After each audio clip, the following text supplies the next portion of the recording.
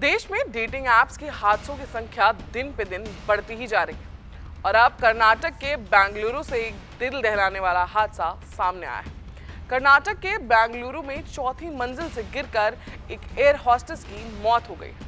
जानकारी के मुताबिक एयर हॉस्टेस दुबई से भारत अपने बॉयफ्रेंड से मिलने आई। थी अब आपको बताते हैं पूरा मामला क्या है। एक रात अर्चना धीमान दुबई की फ़्लाइट से अपने बॉयफ्रेंड आदेश से मिलने बेंगलुरु पहुँची थी।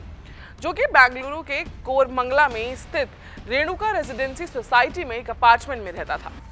इस हादसे के बाद अर्चना के बॉयफ्रेंड ने ही पुलिस को इस बात की जानकारी दी थी और ये कहा था कि घटना के वक्त वह फ्लैट में ही मौजूद था। बता दूँ कि घटना के तीन दिन बाद पुलिस ने अर्चना के पिता के आदेश पर अर्चना के बॉयफ्रेंड के खिलाफ केस दर्ज कर लिया है। पुलिस के मुताबिक अर्चना के परिवार को ये अंदेशा था कि आदेश ने ही अर्चना की हत्या की पुलिस ने बताया है कि अर्चना और आदेश एक डेटिंग साइट पर मिले थे और पिछले छह महीने से रिलेशनशिप में थे।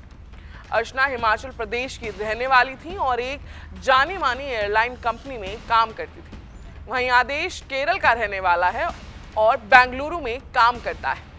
पुलिस ने पहले जाँच के अनुसार ये पता चला था कि दोनों के बीच किसी बात को लेकर लड़ाई हुई थी और कुछ दिनों से अर्चना और आदेश के बीच कुछ खटास आ गई थी। वहीं घटना से पहले दोनों ने रात में बैठकर जमकर शराब भी पी थी।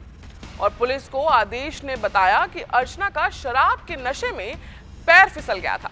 इसी वजह से वो फ्लैट की बालकनी से नीचे गिर गई थी। और घटना के बाद जब अर्चना के पास के अस्पताल में उसे ले जाया गया तो वहाँ डॉक्टरों ने उसे मृत घोषित कर दिया था। और अब जो पुलिस ने कहा है, उससे पता चला है कि देर रात दोनों के बीच मारपीट भी हुई थी। उसके बाद अर्चना ने अपार्टमेंट से छलांग लगा दी थी। हालाँकि अब पुलिस इस मामले में अर्चना का अपार्टमेंट और सीसीटीवी फुटेज खंगाल रही अब आपकी इस खबर पर क्या राय है हमें कमेंट करके ज़रूर बताएँ।